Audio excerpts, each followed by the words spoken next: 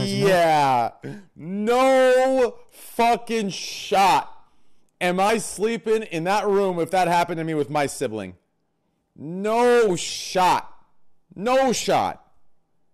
It's just no shot, dude. That like look at this.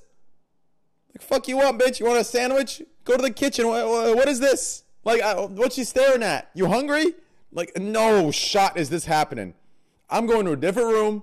I'm putting a lock on my fucking door. I'm getting a fucking dream catcher I'm hanging up on the top of my goddamn bed ceiling, whatever the fuck that thing, bed frame, war frame, whatever the fuck that shit's called. Okay? And I'm getting like six different fucking ritualistic candles and two different witches from the fucking local cemetery to come do some voodoo shit. This is not happening with me.